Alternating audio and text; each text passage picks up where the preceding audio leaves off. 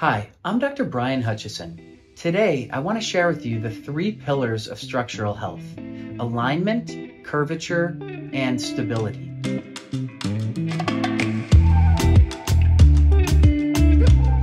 Alignment has to do with the relationship of one bone to another, and alignment can be gained or lost pretty easily. You could throw a ball way too hard, sleep in the wrong position, have a full day's work at a desk, and throw out the position of the bones and need to get realigned. Curvature typically is developed pretty well as we grow. However, due to a number of different things, our spines can develop in a way where we never had good curvature to begin. This could be called scoliosis, or we could have a loss of lumbar lordosis or a forward head carriage, even as a young adult. And one of the suspicions is that some of these individuals who develop very poor spinal curves as they're growing up outside the realm that they have been in poor postures their whole developmental upbringing on the tablets, on the phones, sitting incorrectly, eating wrong, and not holding good form, but that they had some kind of upper cervical instability. And so the body is constantly trying to balance for that upper cervical instability.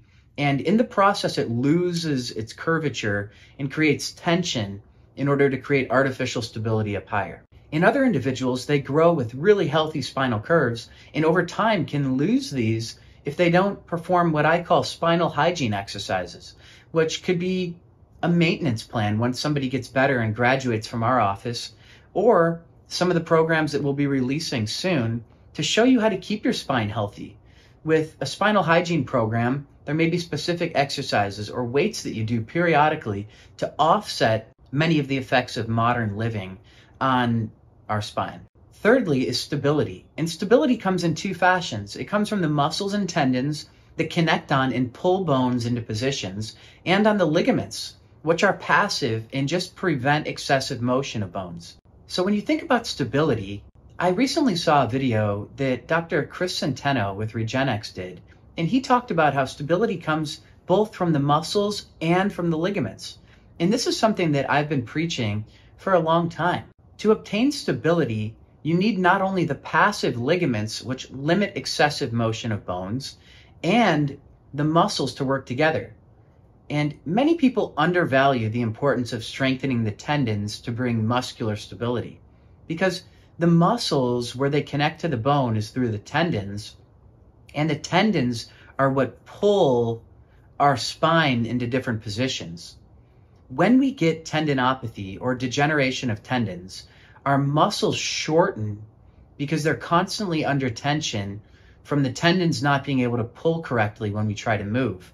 And one of the most common pathologies we see in our office is when the muscles of the neck and shoulders get damaged from a tendon perspective, that they start to shorten and pull us into this hinged position. When you're in this hinged position, and if the only thing that you're targeting is adjustments or treating the ligaments, but you're not working on creating a way to get the spine back into this position and feel natural and at ease when you're in the position that you should be in, you're going to have a very limited recovery. You know, back just a couple years ago, I didn't realize the significance of the tendons, and I would continually be doing, you know, 10 rounds of adjustments with somebody that every time they would leave my office, they were in the right position and they'd keep coming back like this. They'd keep coming back like this and or with one side lower than the other. And I've seen this also with people who are pursuing regenerative medicine where they may have a certain amount of instability on their overhang view or they may have another finding that's in like maybe muscle spasms in the back of their neck. This one is actually all too common. People will go in and they have muscle spasms that continue to return after they get soft tissue work performed or something that calms that muscle down. But on a motion scan like a DMX, they might have minimal amount of instability. And people associate, well, it's got to be that the ligaments are weak. But they come in the office like this. And so they're walking in the office like this.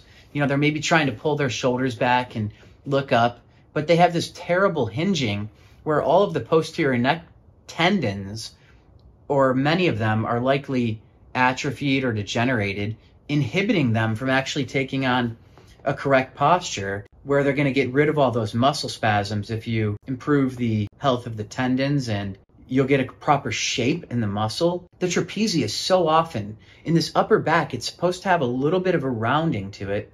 And for so many people, it caves in like this. So rehabilitating the connection there and making it effortless to sit in a position where you're up taller here should be one of your early thoughts when you think, wow, I keep getting chronic tension in the back of my neck, in my shoulders, and I can't get out of this position. I can't hold a good posture. If you can't hold a good posture and you feel like you're being tugged down, yes, look, you could have extreme ligamentous upper cervical instability. But if you only have a moderate amount, it's more important initially for you to be able to get out of this hinge and get into a position where you feel a little bit stronger here when it comes to your function. Okay, so when you're in this position, you're going to be able to move without constantly throwing out the alignment, and you're going to be able to improve the curvature. And if you get treated correctly by somebody that can stimulate repair of the tendons in the various muscles that can help you hold your better, you'll also be improving your stability. Once you've improved the alignment by being in a better position, the curvature, and the stability from a musculotendinous perspective, you're going to then be a much better candidate for regenerative procedures to the ligaments.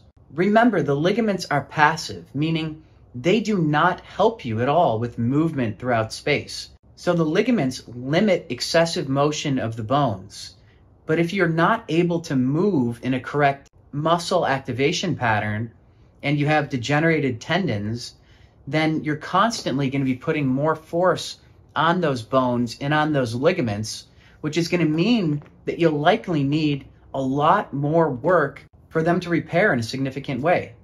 Couple of things that you can start thinking about as you decide where to invest your time, your energy, and your resources. If you have any kind of neck tension, shoulder pain, uh, complex neurologic symptoms, related to a problem in your neck, whether it's affecting a nerve in your neck, an artery, a vein, if you feel pulsatile symptoms, if you have crazy head pressure, you have difficulty swallowing or breathing, your heart rate goes nuts, you have difficulty focusing and brain fog, things like this. One thing to think about first is am I able to hold a correct posture and hold my neck in the right place? And if you're able to do that, and then you go ahead you get a scan done that shows that you have instability upper cervical or throughout your cervical spine or shoulder, then you'd probably be thinking, wow, well, I'm really a great candidate to get some ligamentous stability because that's a missing link.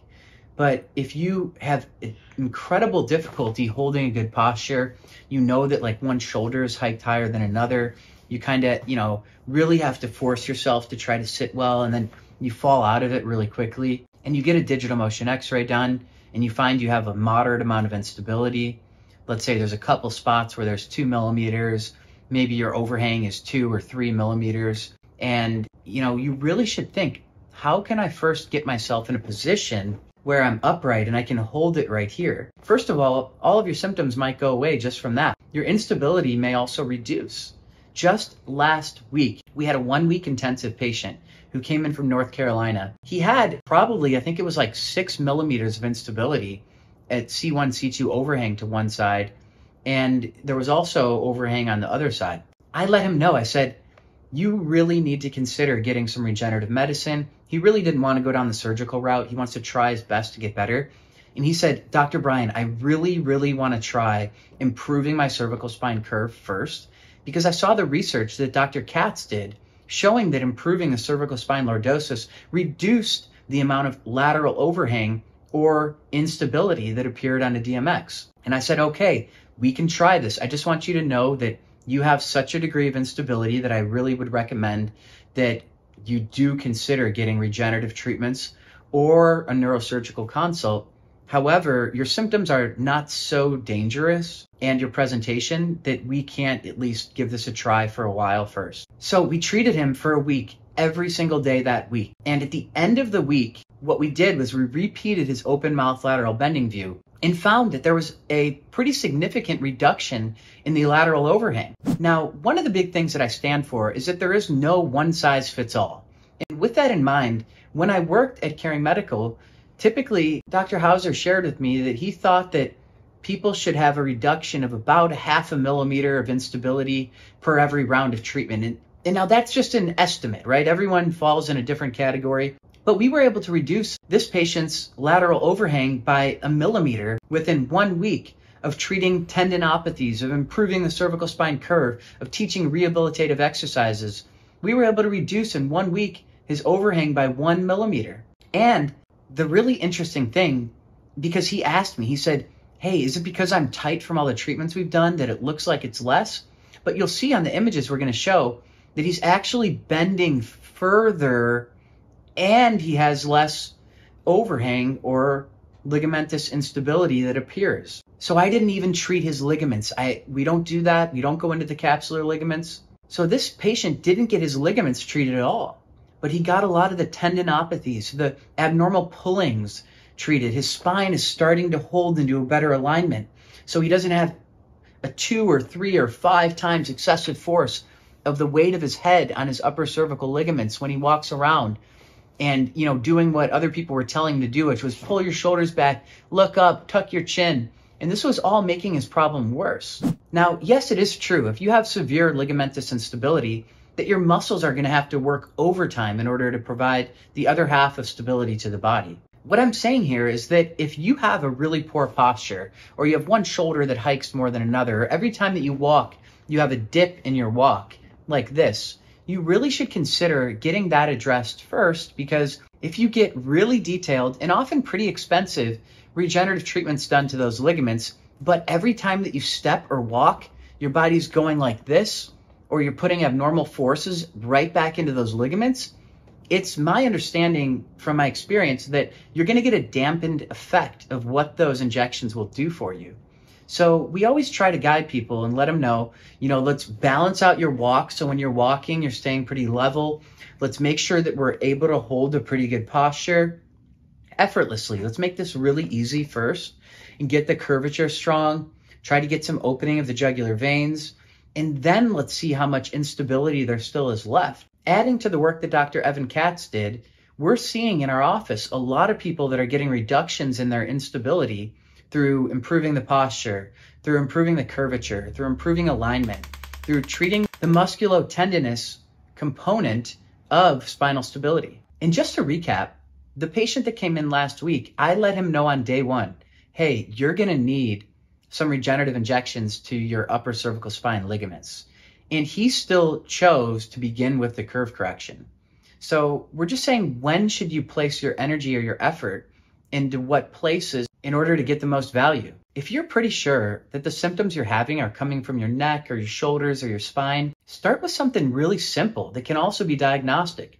Try gentle upper cervical chiropractic. Try physical therapy. Try working with somebody that specializes in rehab. If you feel like you're not getting some pretty quick results within the first couple of weeks, then pursue whether or not you may have some instability get a motion scan done, whether it's, you know, a digital motion x-ray where you're doing all the different motions, or if your physician feels you need it, you could get an upright MRI with flexion extension. And then consider, am I able to hold a decent posture or do I feel like I'm constantly being pulled into the wrong position? And if you're constantly being pulled into the wrong position and it's almost impossible for you to hold the correct posture where you're here and you're relaxed in this position, then consider that you may have an issue with your spinal curvature or the tendons, which are actually what cause your spine to pull out of position. So if you have a terribly hard time holding your neck in the right position, yes, this could be caused by extreme upper cervical instability because that's going to cause the muscles to atrophy pretty quickly and it's going to have a you're going to have a hard time rehabilitating them without addressing the extreme instability. But if you find that you have more moderate amounts of ligamentous instability, fixing the ability for your body to hold itself correctly in space is going to give you a lot more value early on as you'll normalize the forces on the ligaments. So when you go to get those regenerative treatments, you'll likely respond even more favorably and potentially need less treatments in order to get full recovery. So back to the alignment, the curvature and the stability we have one client right now that has gotten what I believe to be full spinal ligamentous stability. I mean, he had maybe like a dozen rounds of prolotherapy and PRP to his neck, but his C2 kept going out of alignment. Literally every week he was back home. You know, he lives in a different city, and every week his C2 comes out, his C2 comes out, his C2 comes out. And he was cleared by his prolotherapist hey, there's no more spinal ligamentous stability, you're good. Well, we found that he had tendons in his trapezius and a couple other muscles were pulling his C2 out every time he moved his arm, every time he moved his arm. So we treated those tendons and his C2 hasn't gone out in a month.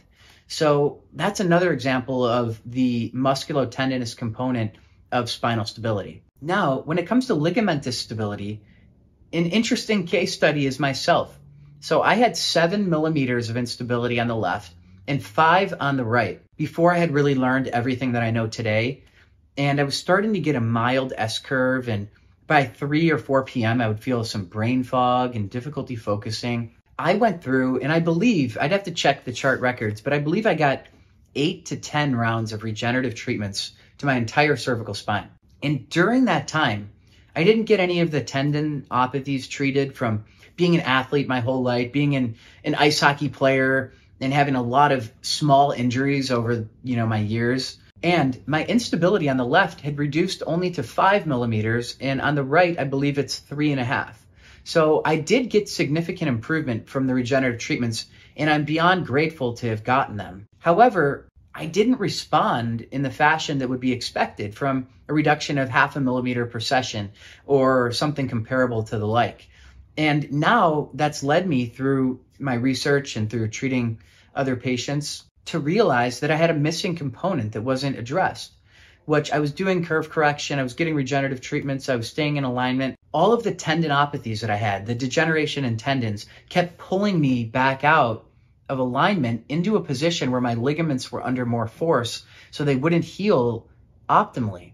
So since then, I've been getting dry needling to tendons. It's much different than what 95% of dry needling clinics do, where they treat the hypertonic muscle, release it, and if there's tendinopathy or ligamentous instability, then that muscle is going to come back and be tight again. And sometimes it can make symptoms worse. So the dry needling that I do is where we target the tendon in order to bring a proliferative effect into that tendon to help it heal and strengthen. And through that, we get more spinal stability because then when we move through space, the pulling from bone to bone through tendons and muscles is more normal and inhibits us from getting pulled into a position where our bones are out of place. When it comes to alignment, sometimes it can be really hard to fix a lower neck that has fallen too far forward. Most conventional chiropractic adjustments typically move the bones a little bit forward as they do an adjustment in one way or another. So these are the people that often won't feel much relief when they get a traditional chiropractic adjustment.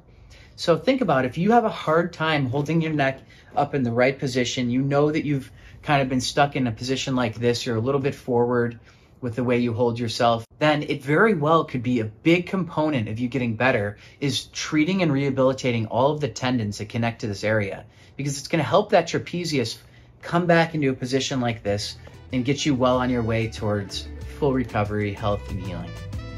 All right, thank you again so much for watching, and we look forward to staying in touch.